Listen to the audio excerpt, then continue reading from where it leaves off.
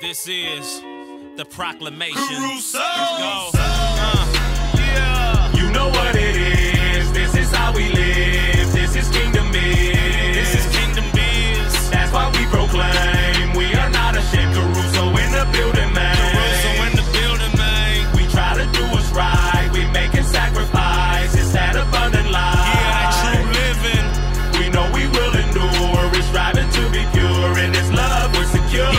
To get wrongly accused by the Romans and Jews. He stood lonely and bruised while we only refused to leave the deceiver and receive the Redeemer. Jesus, he defeated the demon.